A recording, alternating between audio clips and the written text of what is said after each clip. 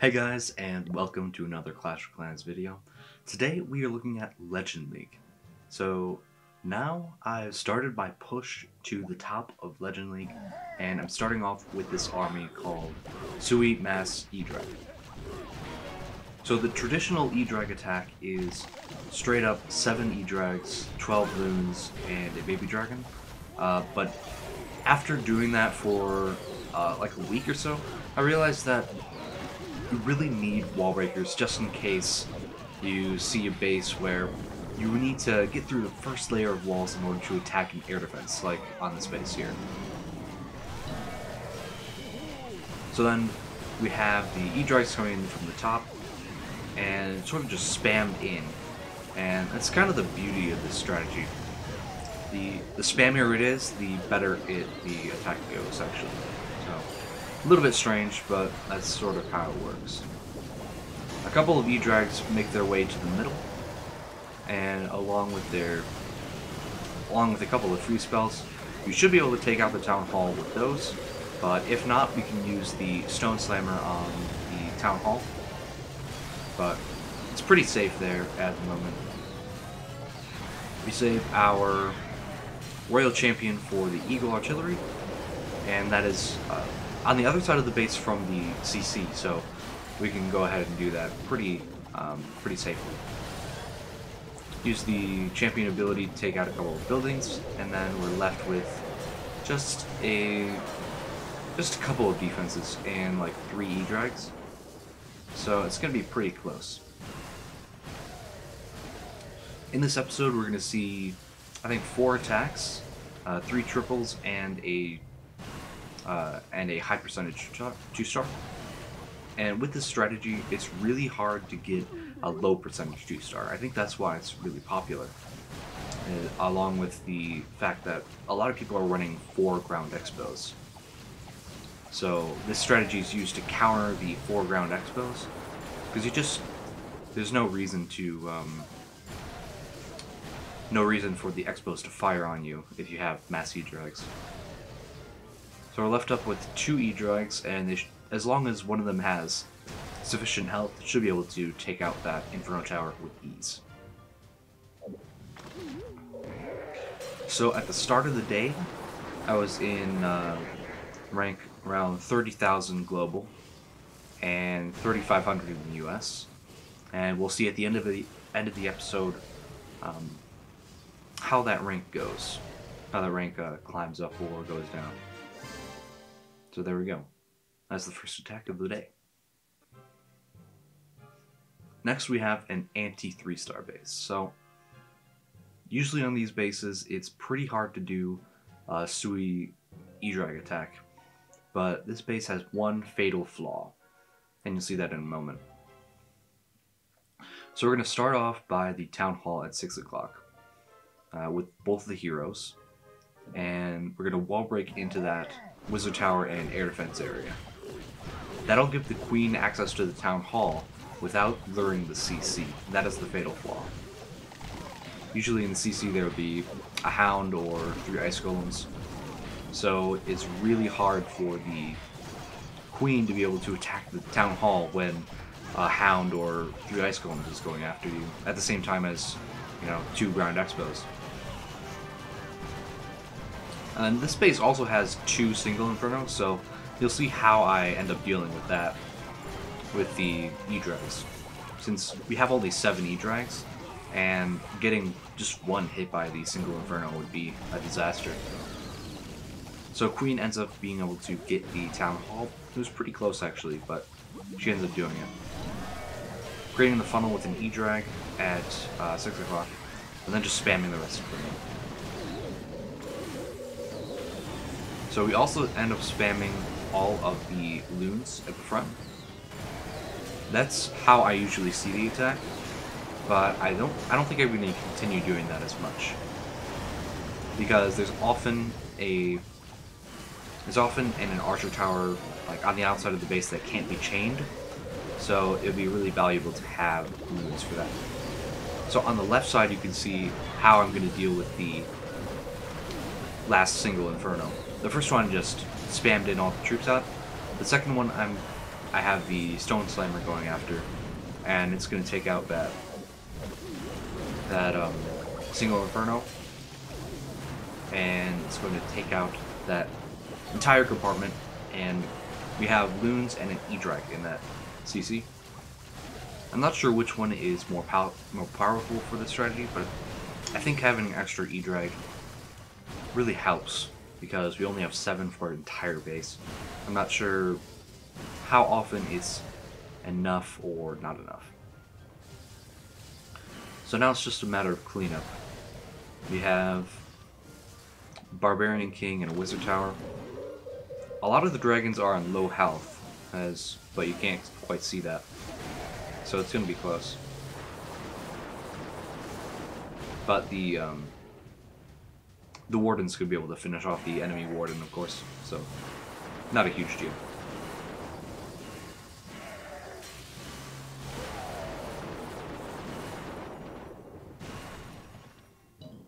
Yeah, so I think it's point we're like two from four, I think, as of this attack. And this attack is I can't remember what order these attacks were in, but this is the I think this is the first Itsu base, Itsu um, Legend League base he sent out onto the world. A little bit strange this design, and that's kind of the point but there's just one thing that I would have changed on the base. And you'll see that in a moment. So we're starting off with the heroes at 12 o'clock. And that's to end up getting out of the town hall, getting down the town hall. Because the walls on the outside are just um, three tiles away from the town hall. So the queen can actually reach over those walls and take out the town hall without luring the CC. So unless he's running a damage CC, that's a uh, that's a flaw in the base design. It's a small thing, but it could often uh, lead to a triple.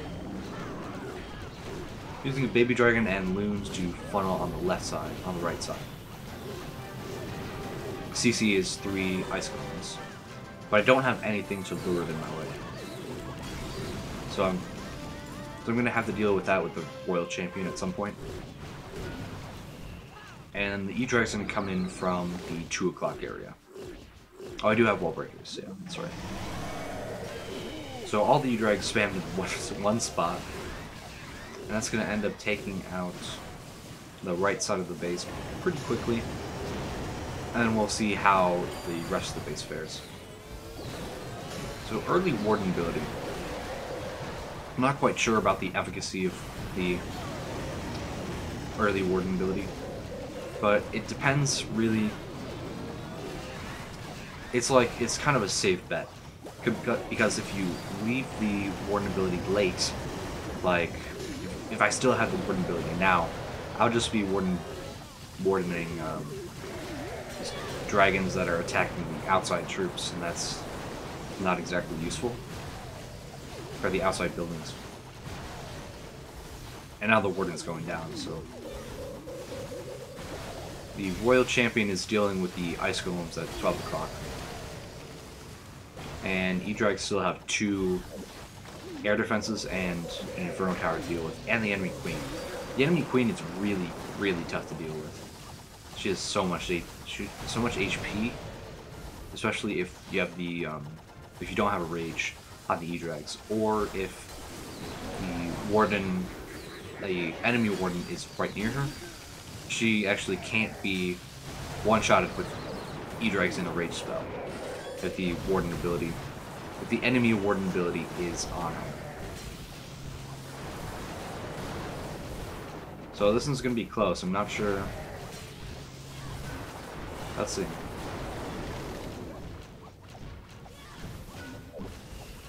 Yeah, so I don't think this goes through, but 88% is pretty good. Um, like if if 70% is the lowest percent you ever get in an attack, you'll probably end up in the top 200. So here, let's check. Or not. okay, so here is just one of those really popular bases. It was. I think I remember this space from Town Hall 12. Um, it's like it's really compact and a ring base, kind of weird. So that's what made it really interesting at Hall 12 when it was new. But now we we kind of know how to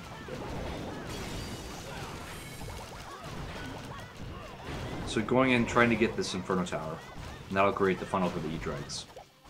And spamming all the loons and E-Drags in, along with the Air Warden.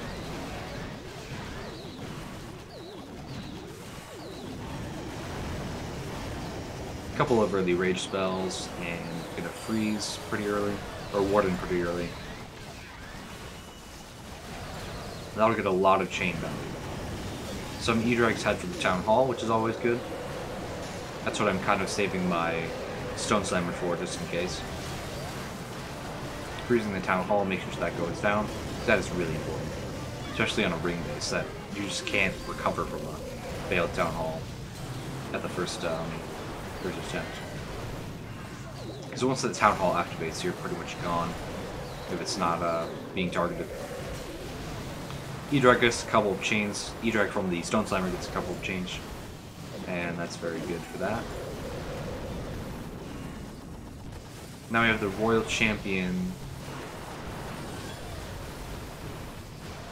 I think the CC was maybe air, or maybe I just took it out pretty quickly with the E-Drags. But, like, if that was a ground CC, that would have been kind of a disaster. But I think I had enough E-Drags up anyway to um, make sure that that didn't screw up the entire attack.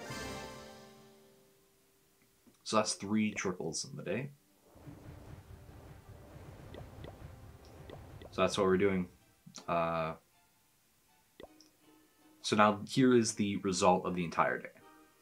Ended up with three triples and five fails, the lowest of which was 75%. If 75% is your worst attack ever, of the season, then you'll probably end up in the top 200. And let's see how I'm doing on the global. 794. Uh, that's up like 28,000 spots, something like that. And 34 on the US. That's up 3,500 spots.